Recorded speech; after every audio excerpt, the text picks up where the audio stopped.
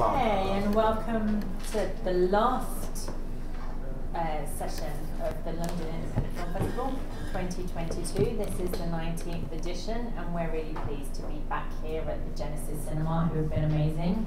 So, thank you to Genesis, and also thank you to all our other partners and supporters.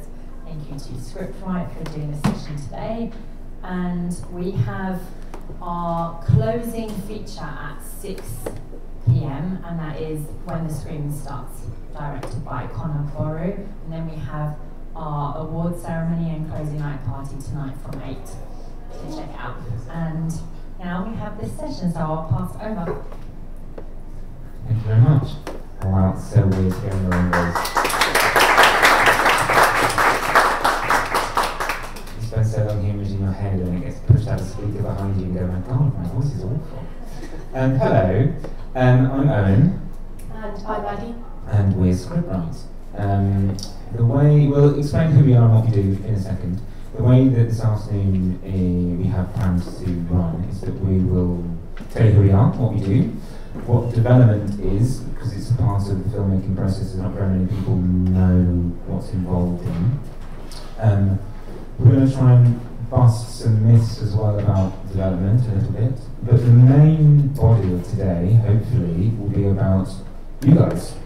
Because uh, our job is we like asking, answering writers' questions and helping them with their story knots. So if you guys have any knots in any projects you're working on at the moment, or um, general inquiries about how do I structure my script, or whatever, any script questions, that's why we call it a script surgery. It's more about you guys um, about us. So if you have any questions, that's great. If you don't, that's also cool. We've got some other things that we can talk about, but we'd be interested to know what's on your minds. Yeah. Um, first of all, I'm Maddy Fry. I'm the co-founder of ScriptWright. Um, my background is I was a journalist for many years, so um, I've written for the Daily Telegraph, Huffington Post, the New Statesman, um, and I moved into script development, and I've written for and done script analysis, script coverage for American companies like the Hamptons International Film Festival in New York, Coverfly in California, and for some production companies here like Big Light and Dancing Ledge. Um, and Owen and I realised we have very similar ambitions. We love writers, we love stories, and we love analysing scripts and seeing how we can make them better and make them the best version of themselves they can be. And we realised we had a similar aim, so we decided to partner up. Yeah, um, I'm Owen Findley, my full name. Um, I was an actor for several years and then realised that was a silly job and uh, then realised, as Maddy said, that I had to share a lot of stories and work with writers and things. Um, I have worked with um, the Hampton Film Festival, like Maddy has, and also I have worked with Sister Productions and Red Planet Productions and um, done some stuff for them. I also worked with the Park Theatre, if anybody knows the Park Theatre in North London. If you haven't, they're a cool new writing theatre, so go and see their stuff yeah, that's who we are. Um, I think now we'll talk a bit about what ScriptWright actually does and how we can maybe help you if you're a writer or if you're in any part of the film process really. Um, we also work with playwrights and people writing for TV as well and people who write for audio. Um, and we'll talk a little bit about that and then I'll go a little bit in depth about what some of our packages are and how we help people and then we'll talk a bit about what development is and then we'll get pretty soon to how we can help you guys in terms of what problems you might have with your writing or things you just generally like advice on general questions. Yeah, so what we do is, as I said, we like working with writers at any stage. You often get asked a question, uh, people come up to us and go, oh, I'm not ready to show you my script. And we go, we don't care, we want to see your script. Um, or your idea. I mean, we have, um, I worked on a play, was it two weeks ago? That was literally just dialogue. And the writer just sent me, this is an idea for a play, you think it's any good? And I went, these are the things you can improve from it. Or I have stage directions. Um, but um, so we work with writing projects at any stage, and we want work with writers at any level, and to help you guys improve your stories and um, make your project work as well as it possibly can do. And as I said, we work, Maddie said, we work with. In the last year and a half, we have worked with um, a script outline for a circus performance, a short film, feature film, a television comedy, a short horror film, uh, several plays, and even a children's book. So we will do stories in anything. That's what we do. And in terms of um, how we are different um, to what other script analysis or script reading companies might be, is that we we can do anything from say a very short one-page report saying what works, what doesn't, to we do in-depth one-on-one mentoring over Zoom or in person with people really want to go deep on how to make their script better. And one thing we realised as well is that a lot of writers get very unhelpful feedback. They get things that are too vague, like don't let the characters overwhelm the story, which um, if you've ever received that, you'll know, be like, how, where, what do I do with that? So we, we default or demystify feedback people might have had before from other parts of the industry and say, okay, have we linked this to concrete examples in your script where we can make this better? Um, so we have a whole demystifying bad feedback you might have had before package. Um, so yeah, and we work with film teams as well, as well as individuals. And I just stress again, yeah, we work with people at any stage. There's we see it as most people want to get to the point where they pitch to agents or to film festivals or to competitions. They're somewhere along the journey, and we see it as, you know, you're A, you want to get to C, we're B, we help you get there. So that is what we do. And we're always very keen to hear from you writers, how we can help you, how we can work with you. And I think now we're going to talk a bit about what actually is development, because um, a lot of people think, you know, films, plays, they think what's on the stage, what's on the TV. Um, what's on set, they think about the actual nuts and bolts stuff that um, involves the camera. Well, we're the pre bit where you have development, you have production, you have post production, we're development. We tend to be very office based. Um, this is still relevant for directors and producers because we form a vital component of basically what a production is and can be by just taking more ideas and helping them develop. And a script is a huge part of that. Um, and we basically make sure the script is fit for purpose and fulfills creative and financial requirements. The financial requirements is a big, quite a big part of it, we are an independent film festival, so people aren't going to be working with Marvel-sized budgets, basically. Um, yeah, that would be very nice. Yeah, it would be. Yeah, don't be wrong, it would be. Really good. Um, yeah, it's a, it's, a, it's a funny world because it's a thing that a lot of people don't know it exists, development. This sort of this thing that if you don't know it exists, you just think that scripts just happen. And then when you realise it exists, you realise how important it is um, and how involved it is. Um, and it continues even on to, um, so it can start with an idea. So, for example, uh, a writer friend of mine um, is gone with a partner of hers to a television production company with an idea for a historical figure they found at the beginning of the 20th century. And they go, she's really cool, we want her to do a series about her. And they go, that's cool, here's, here's money to go write an idea about it. Or you can bring a fully first script to a production company and go, this is really cool, changing three things. And that journey continues even onto the set. So the super development team will often be the person who knows in production, who knows the script almost as well as the writer. The good developer, a good script editor, will be with you as the writer through the whole development process, and then they will be your voice on set. So the, the first AD will come and go. For example, I heard um, a TV series where the writer had written this big breakup scene between the two main lover characters, and they wanted them to be walking along a cliff with a storm going in the background because you know pathetic fallacy and all that kind of stuff. And then they went, we don't have the budget to take everyone down to Cornwall and have a storm in the background. Can we do this scene in the kitchen?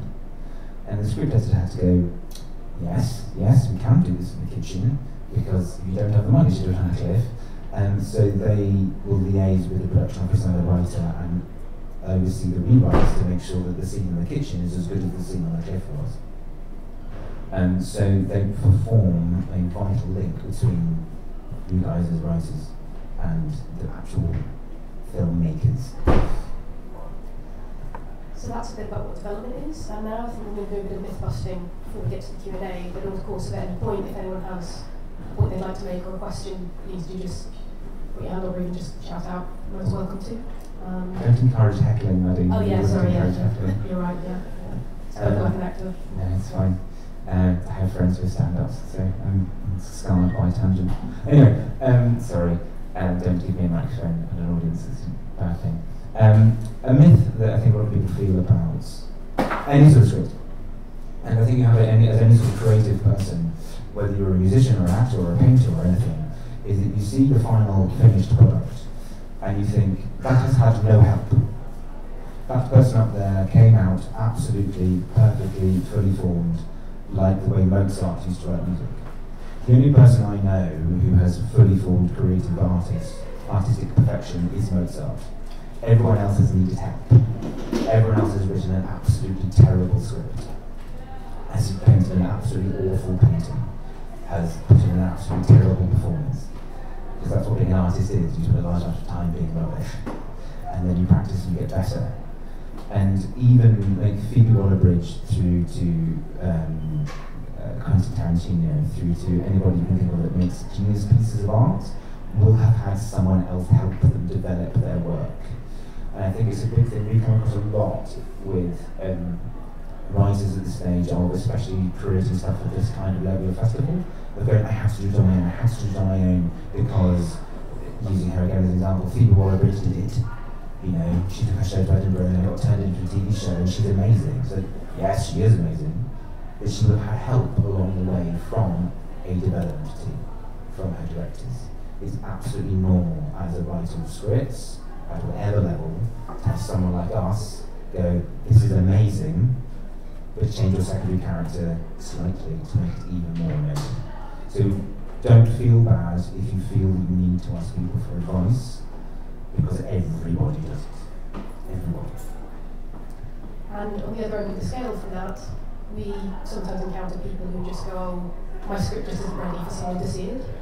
And again, that's a myth because your script ways will never be truly ready. There will come a point where you have to let it go and say, okay, it's someone somewhere down the line will decide it's ready to go forward and be used, but it's going to go through so many redraftings and so many reiterations, different forms.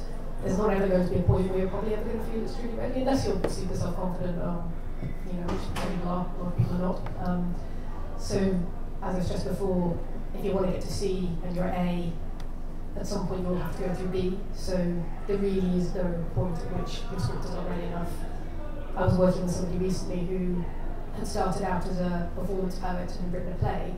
She's now writing something for audio drama. Um, she wants to try and get it produced on Radio 4.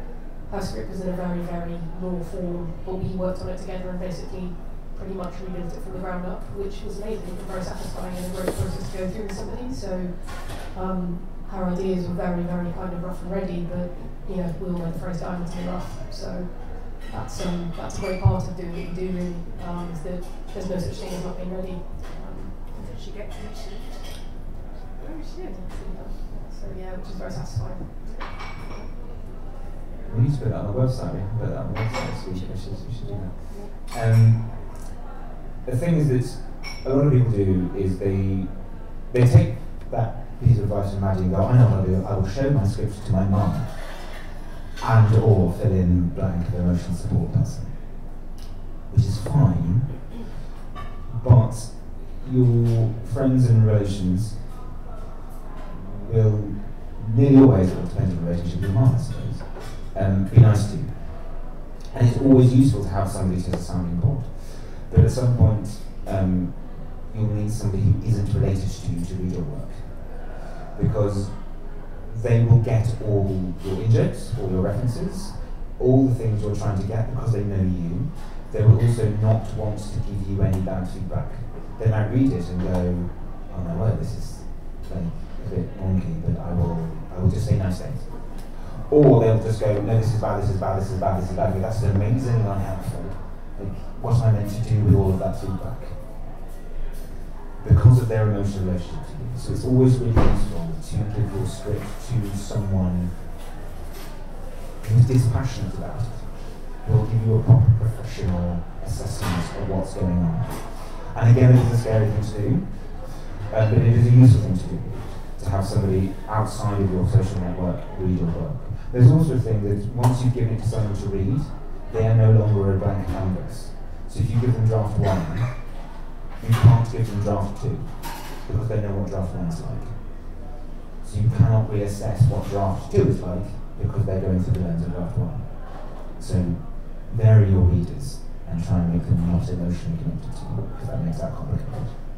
And to add to that, I think one of the best pieces of advice I was ever given generally as a writer when I was writing a book was, I mean, some of you might have had this, so many people say to you, oh, can I read your screenplay, can I read your novel? And then they just won't. You email it to them, and then a year later, and every time they see you, they'll go, oh, I'm going to read it, I'm going to read it. And that gets a bit awkward because it's like, you don't have to, you don't have to. I get you're busy, and the fact is, they're just not going to, and if they do, they're not going to tell you what anything you don't want to hear. So, um, and then slightly to expand on the first myth, a lot of people really do feel that this must be a very solitary process. That being a writer is something you really just on your own. And, and I've had plenty, I've known plenty of people who've just want to keep their work very close to their chest and have nobody it at all, the other end of the scale. And somebody is going to have to read it if you want to be professional in any way.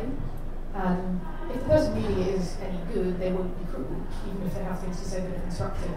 They won't be dick about it. And if they are, find someone else. Um, but it's for a lot of people, writing is private passion. That's fine. If you just want to write for yourself, there's absolutely nothing wrong with that. But if you dream of maybe getting it produced or getting something published, someone somewhere will have to read it at some point. So it'll feel we're sold the myth of the writer alone in their garret, you know, sort of dying of consumption or something. But the reality is for a lot of people, there'll come a point where it's a collaborative process. Um, so that's that is one myth of development that it's where writers don't always work completely on their own. There will come a point where it's where we're all in this together, basically. So. Basically, the point of development is to hold your hand and go, it's okay, we'll help you do your thing. Because we all love stories and want your stories to be as good as they can. And everyone I've spoken to in development just loves watching stuff and reading stuff and engaging with stuff. And the point of the job that we do is to bring writers into that world and hold their hand through it. Because we love stories in kind of an excitingly nerdy way. Anyway, that's kind of who we are, what we do, kind of what the world of development is. I hope some of that was clear and useful. Um, now this is the point where if anybody has any questions that you have about anything you're working on, or the writing process in general, or anything like that. Yes, go Okay. Um, just a quick question. When you are given submissions, I mean, where, where do you feel are the most, you know, is it more character, is it more acts, is it more, you know, plot? I mean, where do you feel that people tend to flounder when they're coming to you, when they're, when they're stuck in their, in their process?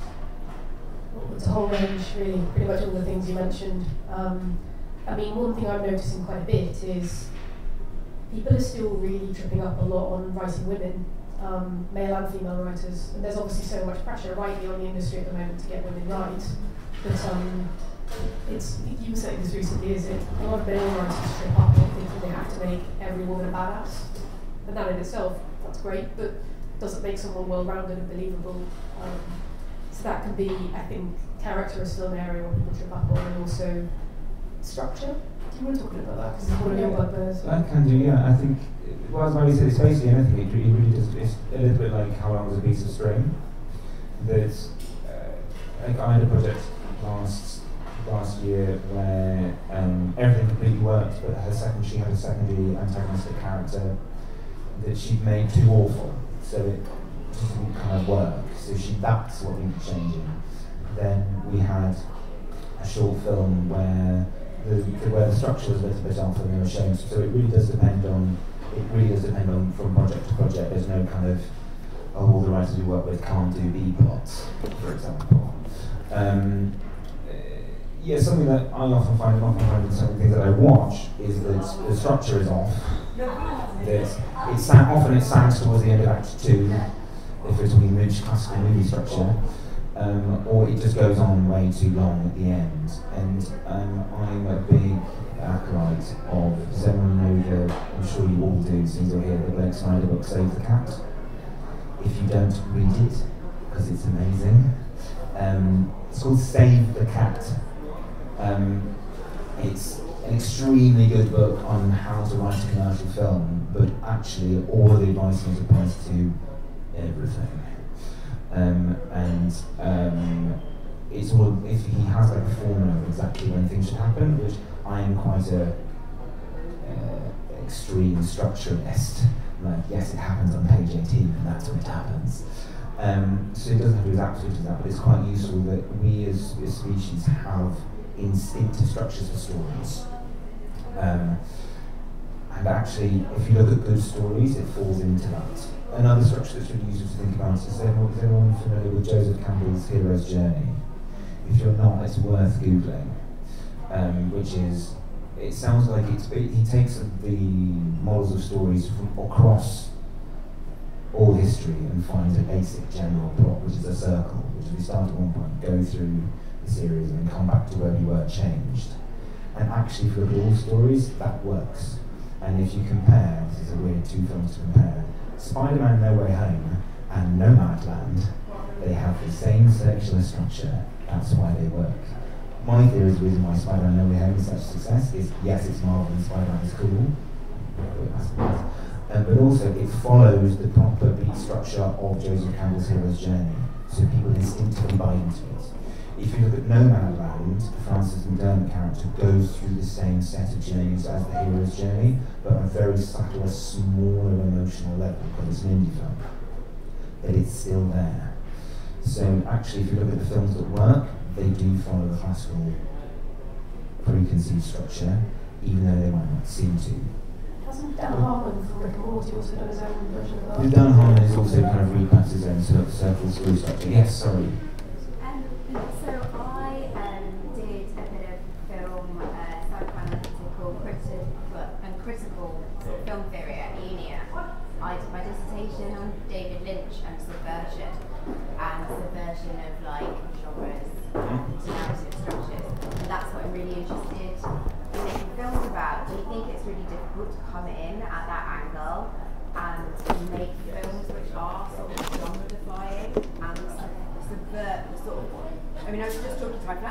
Like the thing about Netflix is everything's formulaic. Like you begin to see, oh, just another thing with that same formula, with that same narrative structure. It's almost like you know when the next thing's going to happen. And yes, obviously people love it, but I think think things get really boring. we stick to those, and they are they they are used. You know, people are just ticking boxes down the sort of you know correct way to write a commercial script thing, and sometimes it just does become very obviously formulaic. But I'm really interested in flipping the narratives and doing things that are subversive and genre defying. But do you think it's quite like hard to come in to the industry doing that straight away? Do you think you have to write something I really don't want to write before I'm allowed to sort of change the rules and change the structure and mess, mess around? No. That's a really interesting question, by the way. Right. Um, in short answer, I'd say no, but I've got a longer answer. You go first. Yeah, well, my answer would be we, we might have to slightly different perspective on this, but I would say when you're starting out, if you're at the beginning of your career, I, w- I would always say to people start simple and start small, and that might mean you lean more towards formula. Um, and when you're trying to get into the industry, um, there might have to be some compromises made.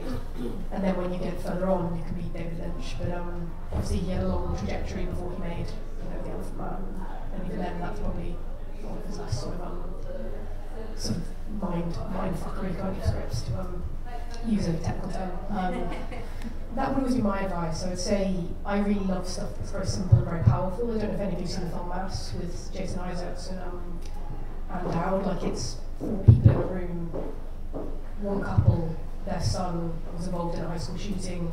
The other couple, their son was killed by the lad who was wielding a gun. And the whole film was just about their conversation. And I think, although in fact it's not formulaic, I think that film actually partly because you genuinely don't know which way it's going to go. It's just it's so. I'd say actually even. I think my advice would be you can find a lot of sort of genre defying or quite surprising stuff within simplicity. I would say. Um, so yeah, that's, why, that's probably a complicated answer to your question. But I would be like, I think learn your craft first, learn the nuts and bolts, learn the foundations, and then move more into doing something that's really gonna, you know, turn the industry upside down, basically. Um, I can't don't I don't disagree with most of what Maddy said actually, but also I think that I if that's what you're interested in, I'm always keen on writers doing. I mean, as you can tell, we don't always have we don't have the exact same opinion. We work with each other. Um, I'm always keen for writers to do what they're interested in. My attitude towards structure and formula, I totally agree with you about there are so many things you just go, oh, I don't know exactly where this one's going. And I think one of the most obvious ones of that is Black Widow. Has everyone seen Black Widow? It's the, most obvious example of the scopes and structure. And you go, you don't need this movie, it's such a waste of character. But know, I won't comment about that. Um, but the structure is actually there to help you. um, and it can be a it can be a framework with which you can then flip things around. Have you seen I May Destroy You, the Michaela Coel TV thing? It was on now two years ago. I May Destroy You. I mean, yes, yes. Yeah, I mean that was amazing. Yeah, it completely changed. I mean, what an amazing television, and especially the final episode completely changed, completely ripped up story structure. But actually, there's there was an awful lot of standard structure going on in the way Michaela Coel wrote those episodes, but she still made incredibly challenging. The kind of thing that I feel that you like to make kind of television. Really challenging, really upsetting in the right way, but there were there are some standard story beats that can help you. So I think when you say the word structure, especially writers, they go, yeah, but I want to do crazy stuff and break stuff and be new and innovative. And of course, whole point of making art is not to just rewrite stuff, but it's actually there to help you, like a poetical form. You can write, a poetical form is a form of description, it's also a form of support. And that's I do structure, is it's not a confinement, it's a support system to help give you somewhere to hang your ideas off. If that answers your question. Yeah. Cool. One small thing I would add to that is um, apologies, I'm starting a sentence with saying, I think it was Tolstoy that said, um, that I have to give credit, um, to, uh, every story is either a man walks into a village, or a stranger walks into a village, or a man goes on a journey. And if you think about it, pretty much everything else fits into that. But if you can break out of that, fantastic, that's a, I think that's a great goal. But you might find you still come back to that in some way. But I'd say also don't be disappointed if you do, because as Owen said, it's support, not necessarily.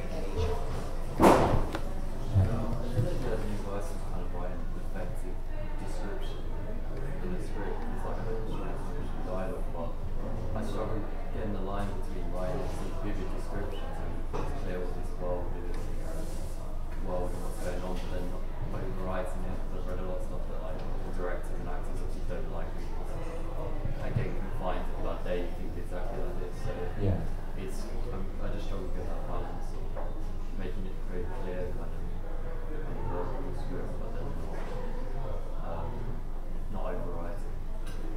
Yeah, no, I, totally understand that. I, I write incredibly bad short stories, so uh, I write an awful lot of description and, and so trying to write anything in a script form I find really difficult. Because you want to go, the character thinks this, they don't like this, and look. I think um, one piece of very bland advice would be go away and read lots and lots of screenplays. Um, you can um, I've it on our Twitter and I can't remember the name of it, but um, I will look up and I will come and find you afterwards and tell you. Um, but um, there, but there you can find lots of free scripts online. Um, a script that's really interesting to read is Dune. I've started to read it, I haven't finished reading it because it's quite long.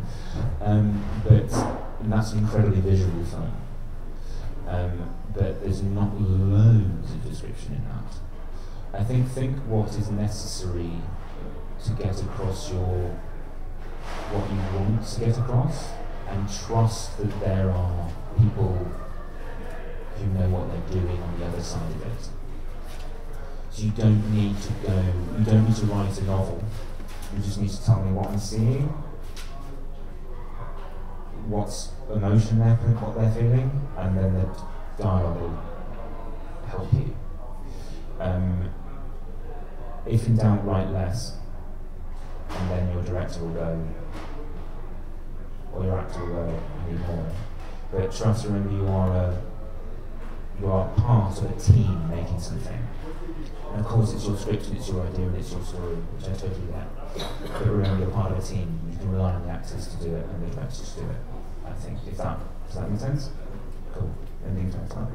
Yeah, say just agree with you, but um, I think show don't tell is obviously a really big rule in a lot of writing, um, particularly in sort of film, TV. And um, I always say to people, you know, let the dialogue do the heavy lifting, because that is the best way to show stuff through your characters as actions rather than too much exposition and um, descriptions in the script. So yeah, just jumping with what Owen said, really. Anybody else? Um, I'm writing a few things. I've got a feature film at the minute. But I found I'm okay with character. I actually sit and have coffee with my characters if I feel I need to get to know them better. That's a really good idea. so it's like, you know, I find out their backstory and then I can actually go back to who they are. Kind of like hot seating. Sorry? Kind of like hot seating, where you sit and you interview them and find out what backstory and I actually sit and I just have a conversation with myself. Sounds really. No, that's, I think that's a cool, I think that's a good idea. um, and I just, it's like I have that conversation with them, which then makes me have to respond on their point of view. So normally I'm okay with characters, but I'm finding in this particular one that I've got, I've got the main character who I'm wanting particular things to come across from, but I don't know if he's becoming too passive at times with other characters. I've got quite a strong female character, Mhm. and I don't know if he's becoming a little bit passive, and I don't know how to get that balance. I don't want to lose her, but I don't want to lose him Mhm. because he's the main character. So, but she's kind of a second character, but she's she's the main character as well. If that makes sense. So it's just trying to not get that. The balance right. Yeah, not Yeah. lose him to passive and have him still active. But it's just I don't know if there's any tips on how to bring him back. Yeah, um, I'd say maybe put him in a difficult situation and see how that changes him and throw a challenge his way. Um, I mean, do you have a sense off the top of your head of what at moments where you think he's too passive? Um, or would that Yeah, it tends to be when he's in scenes with her. So I don't know if it's the dialogue. I don't know if maybe she's just a bit too much. Are there any scenes where he's by himself? Yeah, that's so. I basically, I'm having him. I'm trying to focus on PTSD because there's a lot of misconception around PTSD, and it's not actually a veteran's illness. Um, so it's kind of like when he's dealing with that, obviously that's on his own. But he, he's got a different character which comes in and is very like them. Their two characters is great. I like the way that they're working, but it's just this. I don't know. I don't know if she's just too overpowering. I don't know how to bring her down without losing her qualities. If that makes sense, because I don't want to lose her and who she is, but I don't want to have her overpower him Yeah. as well. If that makes sense. Yeah, of course. um, two thoughts. One, which might not be very helpful at all. I think part of our job is throwing out unhelpful thoughts and then to allow you guys to reject them. One is if she is coming out as the main driver of the story, maybe she's your main character, and he is he's the thing that makes her learn lessons. If that's what's coming out, she's the main driver, and your main character should be the one that drives the story. So I totally understand where you're coming from. Maybe she's actually your main character. One idea. Second idea is that if um, you create every scene between ev- every character that they walk into the scene wanting something, they want to achieve something from that scene. Um, like the standard pretentious Hollywood actor, what's my motivation for the scene? Like give him a like he want he walks into a room he wants to very simple. I want to get across the other side of the room and make a cup of coffee, and she comes in and stops him, and he's like, that's his obstacle. So if he has a strong, give him a strong enough intention in every scene he's in, he wants something, that will give him a drive. Because we all want something, and if we want something hard enough, we'll fight for it. It might be that all his his want in all his scenes with her isn't strong enough. Like, he doesn't need anything out of that scene, he just is in it.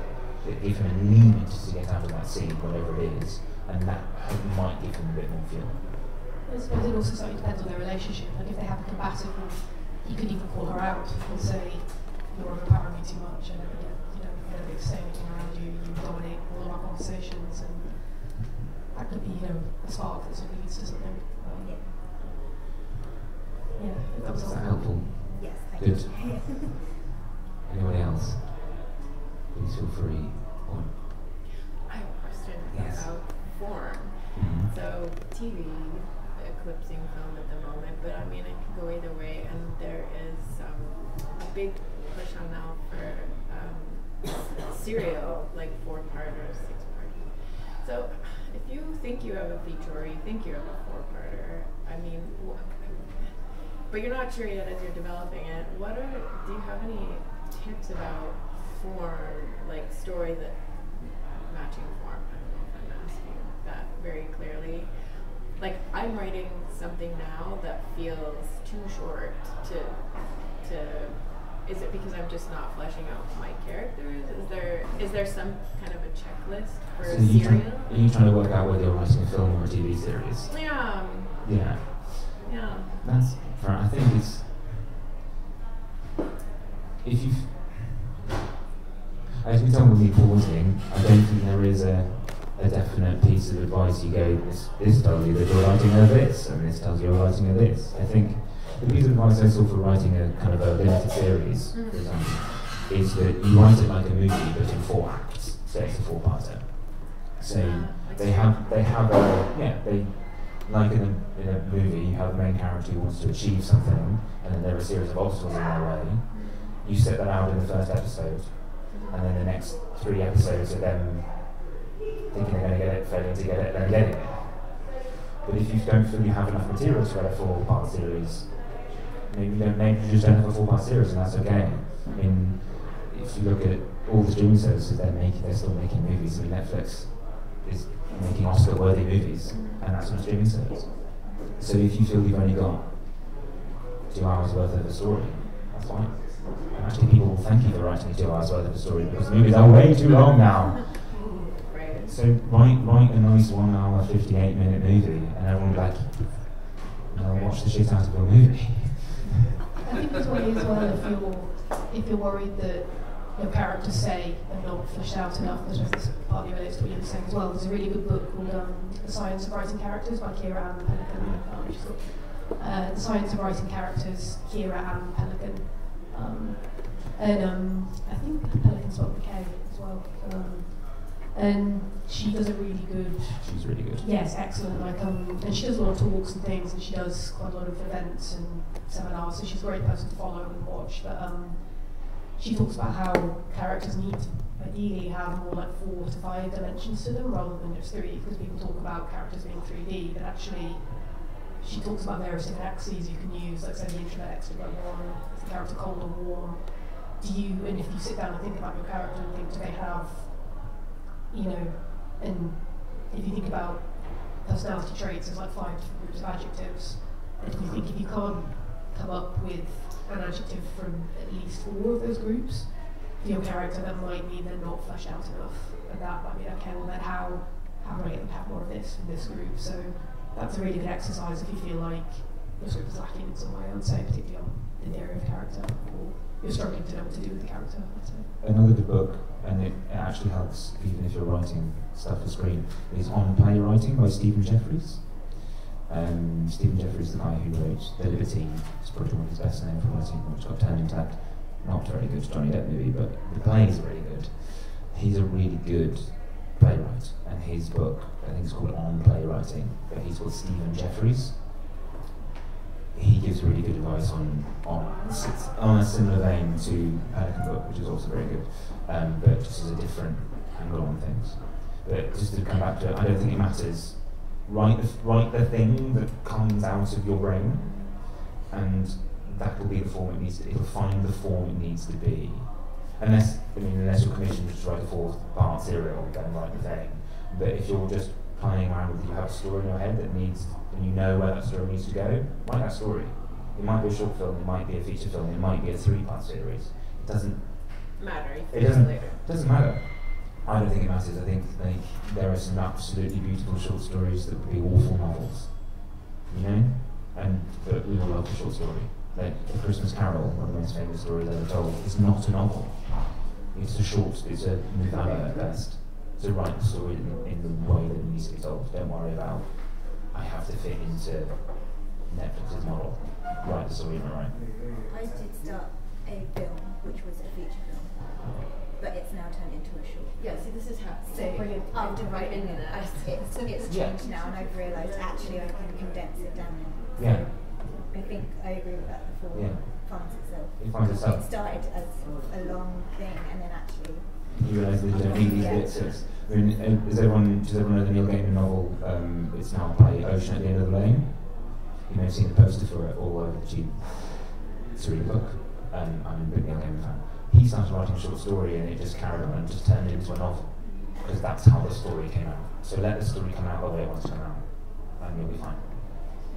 Just yeah, following on a bit from that about um, I don't know how involved you are with industry, but from a TV commissioner's point of view, do you have a steer at all on what they're kind of looking for? It's a bit difficult because they always say we know when we see it. But do you, have you got an idea yourselves about trends right now? Um, Because you can spend two years writing something and then you think it's just not what anyone's looking for right now. So. yeah. That's a really tricky one because it's notoriously for the industry. Um, I'm getting the sense at the moment there's um, there's obviously a lot of pressure for more diverse stories, like more voices, more working class voices, more non-white voices, um, women's voices, um, things that deal with mental health, um, and I think things that deal with very relevant political issues. But that one's always a tricky one because you know, The Handmaid's Tale, they were just super lucky that, well, lucky is probably the wrong word, but it came out the year Trump was elected and they had to change nothing. But they were going to do it that way anyway, so it's, um, and there's always the risk that something might be far ahead of its time. So I think it's, I think keeping it, I'd say honestly, the instinct I tend to follow is what do you think is not there at the moment? You were talking about PTSD, that's a really good example. Like, um, if you feel you're not seeing enough of something on screen or on stage, write that, you know, and write what you know about it. I think the, the little know, uh, what I've picked up is that they don't want period stuff because it's really expensive. Um, Did you say that somebody did um, go with a historical drama? Did you say that at the beginning, or was that just a, um, a theoretical? Just when you started to speak, you were saying something about a historical TV thing that you'd worked with one of your Oh, yeah. clients on. That was the example, was it where the two people were going to be on a cliff top, but they said Oh, that's that too was expensive? from that. Yeah, same yeah, that- that oh, wasn't yes, very- okay. So same thing. Expensive. Yeah. It's it's expensive and, and unless it's Bridgerton and they know everyone loves it, it's going to be really difficult to make. Or if you're Jack Thorne and you go, hey, I'm going to write something, they go, cool, Jack, just write it. we'll pay you. Um, the but I I was with a talking to a writer a long time ago now, before Blip, um, that it's there's so much content being made, and it's a war. There is an actual war going between Apple, Amazon, Netflix, BBC, ITV. No, there's a new one. Warner Brothers Discovery. Yeah, exactly. There's a need. Everybody needs content. Content is their art. All these people's metaphor weapons. It's their armaments. They need content. So then, if you write something that you genuinely think is good, write the story you want to write, they will probably need it. Um, because people need stuff for people to watch. And I think a great example is um, It's a Sin, you know, absolutely fantastic five part series. Because partly because there was so little being dramas written about the AIDS crisis that period, that's why Russell T Davies wanted to write it. So even though obviously it's set in the 80s, it had a lot of resonances because of the pandemic. And so, yeah, I think it's, as you say, write what you, write what you want to write and it'll, it'll find, if it's good, it'll find an audience. And I think the sorry, I was, I was going to, sorry, John, spoilers. Um, I was just going to say the only thing I say not to write is about me. I'm a straight, straight, white, middle class man. Don't write anything about me. There's enough about us. Write something else. That's the only thing I'd say not to write about. I just wanted to know because obviously we, it seems to me every other week we have some new um, product on um, streaming platforms. You know, when you look on Amazon, it's like where all this stuff come from. Do you know roughly is there a backlog of projects that people have? Do they, you know, in terms of how the, streaming platforms work? Do they?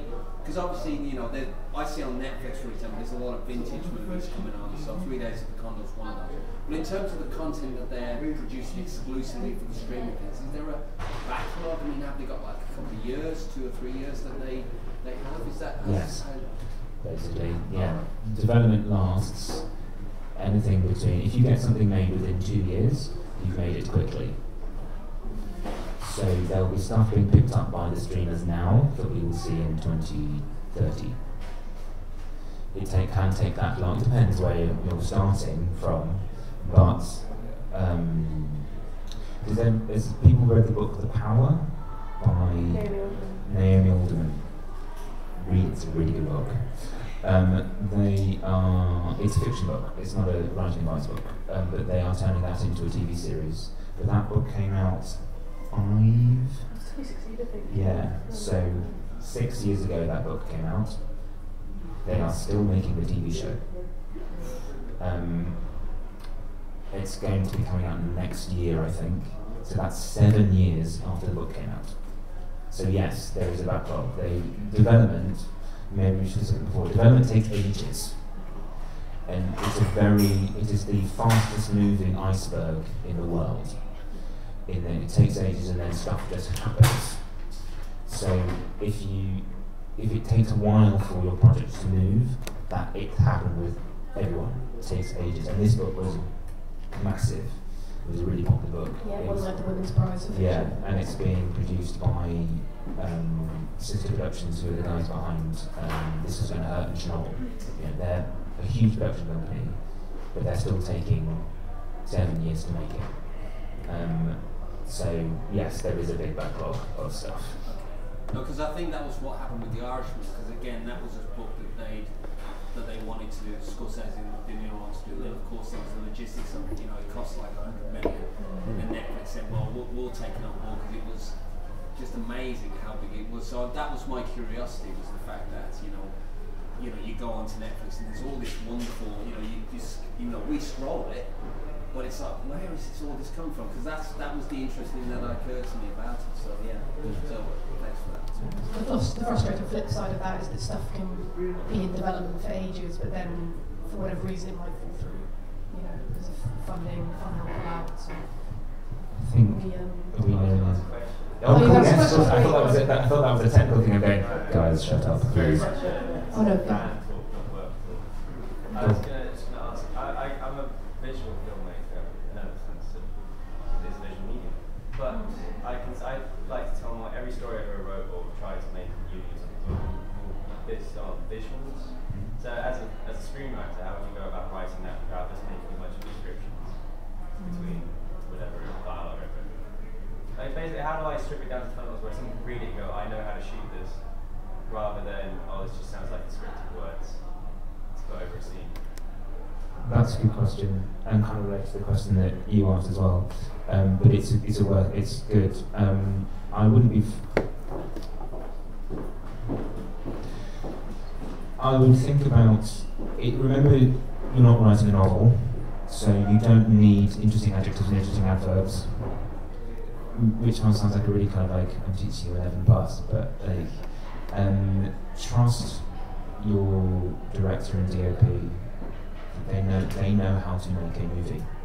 So you don't need to put in, and this is the thing, actually, just a general thing. Don't put in shots, shot sites.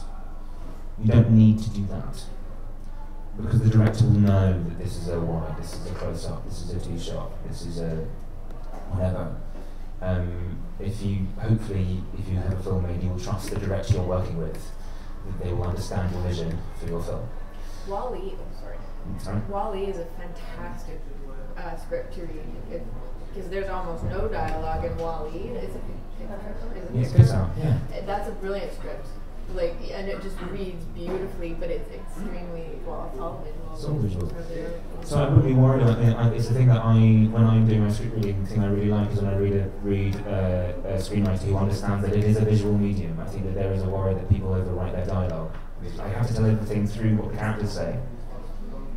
You, you know, you, they can, you can have a beautiful shot and they say one thing, but you ju- just tell them what the shot is, as simple as you can, and we'll get it. Um, don't worry about going, there is a beautiful orange tinge sunset over the kind of thing. Just be as simple and clean as you can, if, if that makes sense. Yeah, no, I As simple and clean as you can, don't need the shot tight.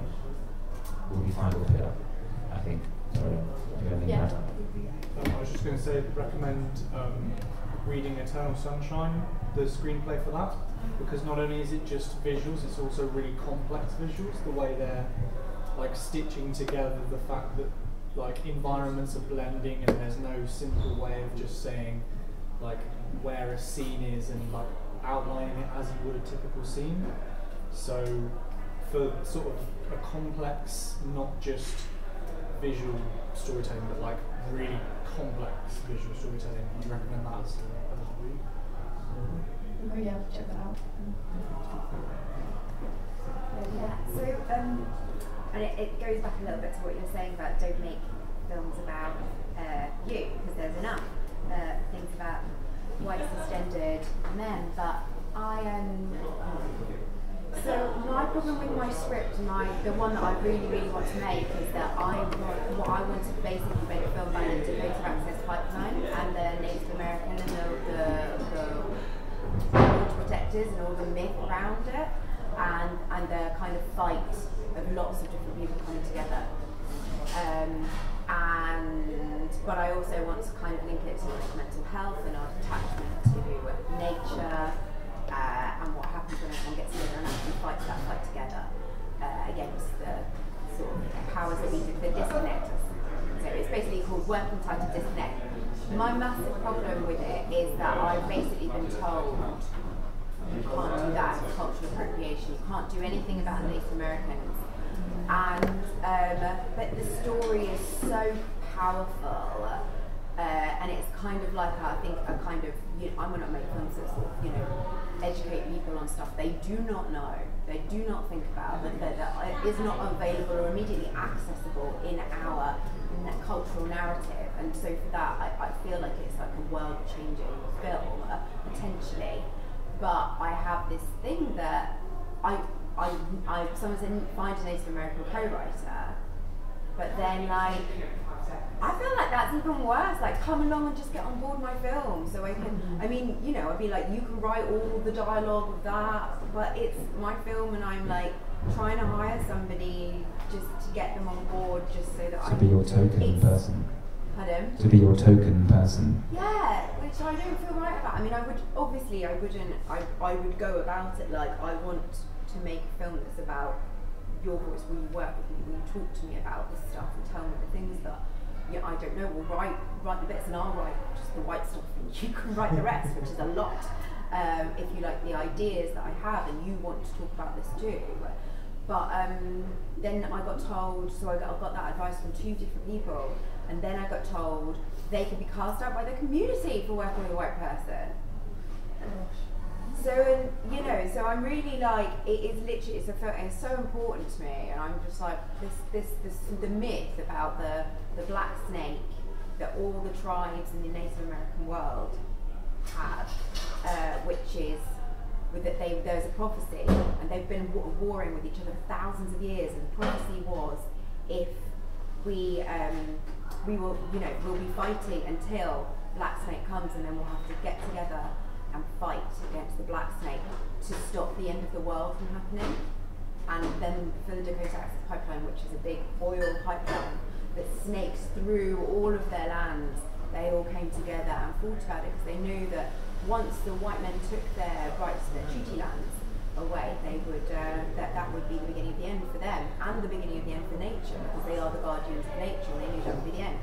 So it's this amazing story. Sorry, I just it just has to be told and I'd say know, tell it. Like I, I personally don't agree with this this idea that if you're from outside a community, you can't tell a story about that community because it's it slightly goes back to what we were talking about a bit earlier.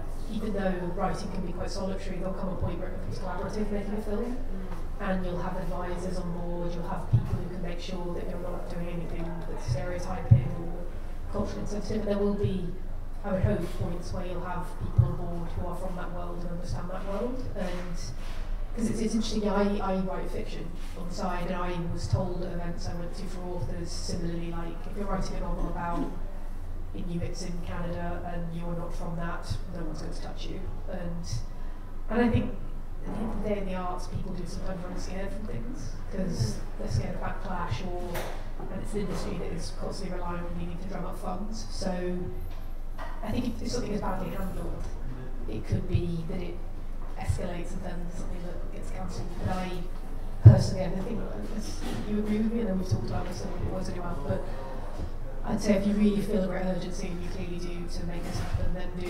And But also, I think personally, there's nothing wrong with being honest with people and saying, I just really love this story and want it to happen, but I only think it's reasonable to bring in people who are in that community who also want to collaborate on this, I'd say. That would be my, my thing, would be forge ahead.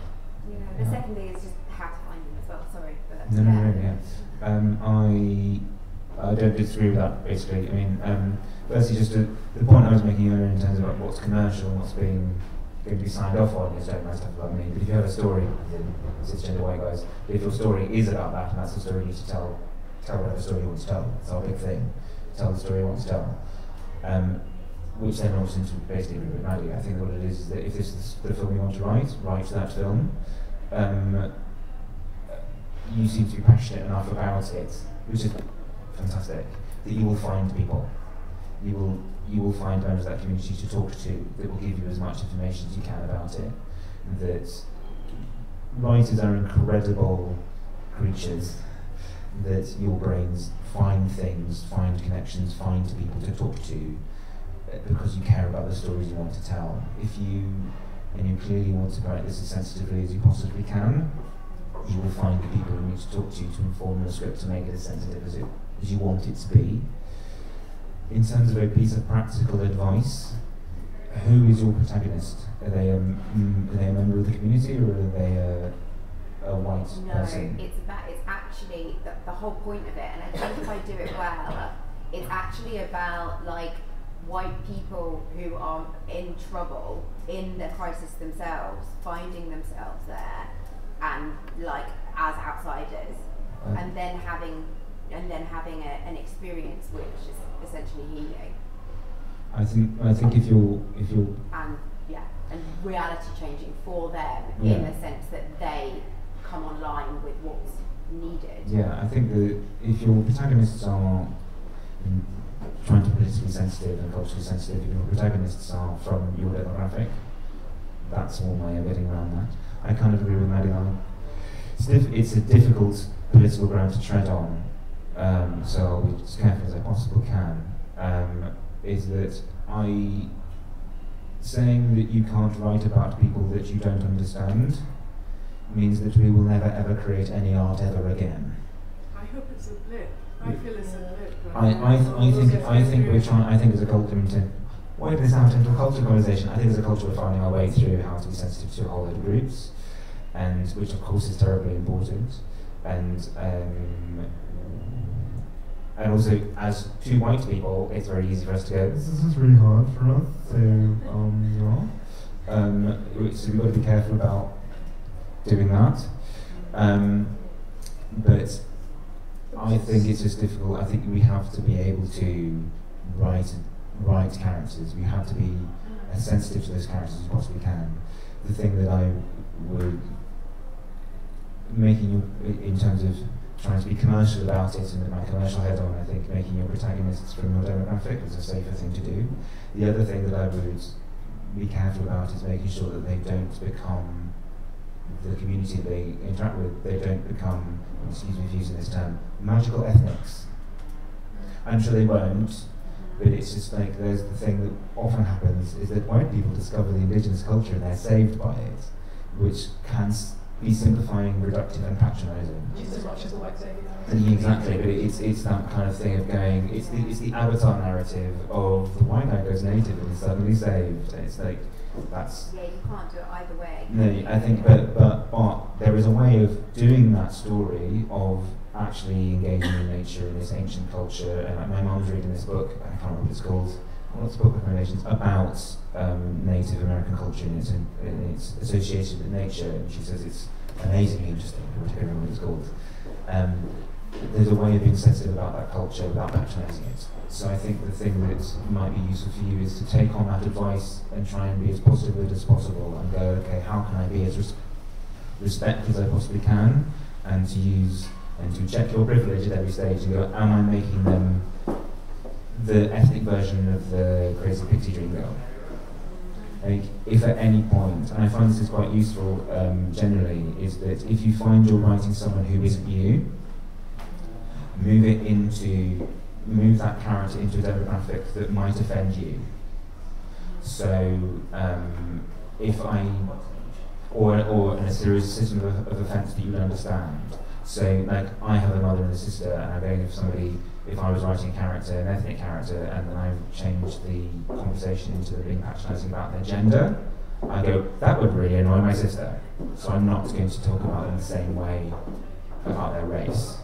So if you think, if you find you're writing a character that's talking about someone's culture, and think if they talk to me about my gender, for example, if a man, if a man talked to me about my femininity, the way that my white character is talking to my ethnic character about their culture, would that annoy me? Yes. Maybe I need to change that. also says, well, like, stories I think are meant to be, they're meant to create empathy. I think, you know, Mark the film critic, he's very fond of saying, like, films are empathy factories. And if we can't sort of write about stuff that's not from the world that we've inhabited for so long, then how do we even begin to like encourage empathy? So, um, but I would also say as well, even though this obviously has a message to it, the thing that you're doing, I'd say don't let the message throw out the story, make it all about the story, and everything else will follow. Like, like, and that, in some ways, will address some of the stuff we've talked about. I think make it about the characters and their journey, really. Um, I would do that just to add one more thing and then mm, maybe have two more questions maybe. Um, is that there is a there's a danger sometimes I find with writers they want their message and their politics to come through their film and they forget to tell us a story. Uh, a really good example of that is um, uh, the second Star Wars sequel, which is so obsessed with its politics, it doesn't tell us a story. Um, so be careful that your message doesn't overpower the story you tell. We like hearing stories about people going through struggles and then changing. Coming back to the structure thing I was talking about earlier.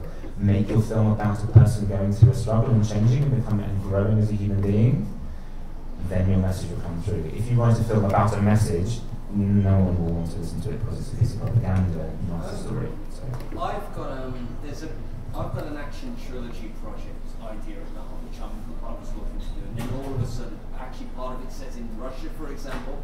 So how would you, if for example you are still believe in your story, but you, you know, obviously because of what's going on in Russia, it's very dangerous. I mean, what would be the solution to that? Would you make it a period thing, or would you sort of look for an alternative location to, you know, um, you know, just out of curiosity? I mean, what, what would it do? What is it that you're, sorry, um, you're struggling with? Is it that you think you, it wouldn't work being filmed in Russia at the moment because it's too, it's too volatile? Oh, yeah, that's what I'm saying. But, I, but what I'm interested in now is, I mean, you, that would just be a structural thing, or like you can actually, you just change the location, you know, just bring that into that. Yeah, like I mean, I mean, filmmakers come up against this all the time, but they just can't film in the places where stuff is set. So plenty of stuff that is set somewhere will be filmed somewhere else. So I'd say if you're if the location scout for the producers any good, then they will they will deal with that. I think. Yeah, no, no, yeah, exactly. The, the logistical thing is you can't do a shoot in Moscow right now because we don't like them. Um, but uh, also in terms of the writing thing, it depends how. Is it essential, for example, is it essential that they're Russian? Do they have to be Russian? Could they be from somewhere else? I mean, it's it's. I mean, the story is actually. I've had this thing for years. It's a fictional railway line that runs from the backdrop of the story. It's a fictional railway line that runs from Paris to Vladivostok. So it's a whole thing, and the whole conflict is based on this idea. There's, you know, it's kind of a bit like I don't know, an Alistair, like an updated Alistair MacLean type story, you know, mission movie and stuff like that. So I was, I was just curious, really. That's you know. People film in like people shoot. I've heard of people shooting Chicago as New York, you know, and like for, for any of you guys who watched Doctor Who or Sherlock Holmes, you'll know that Cardiff spends a large amount of its time being London, and so. It, yeah, they film, and, and London spends a large amount of its time being Gotham. Like, you can film places and make it look like other places. No, I, I mean, funny enough, you did remind me that in fact they shot Firefox, which is on ITV before every other week in Vienna, so yeah. yeah. And like you also, you do get some very intrepid filmmakers who will not take a war zone as a no, you know, and it's, um, I mean, I mean, I don't think it was a war at the time, but, um, you know, uh, Apocalypse Now, like, that was killed the director. Like, you actually read the process of how they made that film and how many got made America. Like, it's, and I think it was, yeah. We're not encouraging you to go and take your film crew in the darkest jungle. I just want to put that out there. we as script writers do not condone the making of Apocalypse Now. No, no, we don't. But, um, no one should die in the process. That's, that's a good rule to follow. But there are people with enough tenacity to try and do that, but generally people will find a way around. Um, maybe one more question, people have one?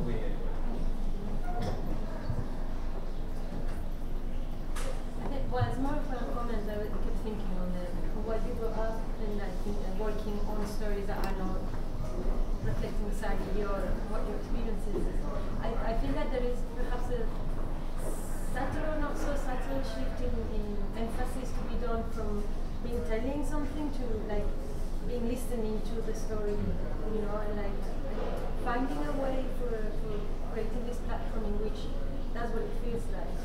That is like we we are listening to all that all those stories that these people that is not me want to tell us, and I want to hear Amiga, and we feel this, you know, really want to like give space to this uh, thing to spread and stuff.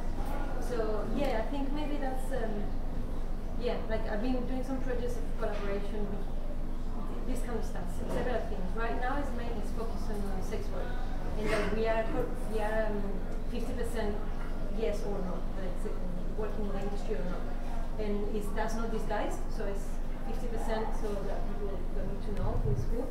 But what people seem to to to really need is this this sense of um, their voice being there, being listened to, and like them. I, I think it does have to to have a mix in the team of you know trying to prioritize if there was a way for you to like find a, a lot of yeah I don't know But it's more a curious- complicated, that they have even even in technical roles or, or not like you know actually making it know, And it's also, I think, what you were saying about listening. Like, I'm a facilitator in sort of my day job, and like I see myself when I work in film as a like as a facilitator. Mhm. You know, so maybe having that yeah attitude, going in and being like, can I facilitate you guys telling your story Yeah, about this? that's- Can I help? You know, as opposed to it being, I'm going to tell it. You're secondary. But to it's our me." job to be curious, isn't it? It is our job as artists to open up the forum and the conversation to what's going on and what is different than us, Mm. right? And to say, hey, this is this is this idea I have because I read this thing and like maybe I got it wrong, but I'm really inspired by it. And tell me tell me what your thoughts are. I'm from Canada, grew up in rural Canada, all of this my whole life. So if you are curious, I know a lot of people that you can talk to about this. Fantastic. Connections were made. That's how you find people. You come to things like this and you meet people like that. So there you. But yes, I think I think it's about it's about listening empathetically and reflecting that in your writing. Um, so basically, yes, I agree with that. Just on that, and, and on the networking, like, how do you know? Um, can you also act as somebody that puts writers in touch with each other? Because I think on my yeah, most of my projects, I wanna I want to co-write with particular people. You know, like I'm firstly I'm neurodivergent, and I want to make a series that is written by neurodivergent writers and work with the neurodivergent writers. Um, and yeah, and secondly, I'm looking for someone to make this film eventually. Might not do it first, but um, but yeah, I, re- I really yeah. So do you do you often put writers in touch with each other, or do you have different people that can consult on different types of stories and different types of things? Or Um, we don't at the moment. That's a really good idea, which we will now steal. Basically, ScriptWright's just us two. at the moment. and, and, and yes, we will start doing that. Um, to do that, please follow us all on Instagram and email us, and we will put you all in contact with each other. Yeah. Um, what royalties? um, uh, we don't say it's fine. We will help you make your film, and then you go and you make your film. That's what we do. That's fine. Um, that's our job. Um, you know, we don't take any royalties, or not yet anyway. We might do. Um, um, again, that's an idea we might steal. Um, but no, we don't put people in contact yet. But Drop us a line. All our contact details are on there. on the sheet. But that is an extremely good idea. Um, I'll talk to her as a writer here. Might might be worth talking to. She's neurodivergent, but she works with neurodivergent actors. So I'll talk to her. Well. I'm a, I'm a both. So. That's cool. Um, we probably should stop talking at you because there is a filming going on in 10 minutes that can get some probably want to go see, or just go get a beer. And the people who run the festival are hovering at Oh, it's till six. All right, cool. We've got 40 minutes. We can see it already. Um, no, but we should probably stop. We've talked to you guys for a long time. Yeah, over an hour. Um, but it's been fantastic. It's been great to talk to you about your projects. Thank you for sharing. Thank you so much for coming. You'll see a lot really, of- really appreciate it. paper hovering around. That has our contact details on it. Just a little bit of what we do. Please do get in touch with us, drop us a line, follow us on social media, and you know, what we're working sounds really exciting. We'd love to be involved. love- So we really would. But yeah, please, please email us and say hello and tell us that you came to this thing, and we'll be like, thank you so much for coming to our thing. Um, but yeah, please talk to us. That's what we're here for. So and yeah, we'll be hanging around for a bit if anyone wants to come ask us more questions. If you're too nervous to put your hand up or anything. So. Cool, thanks, thank guys. you. Thanks so much.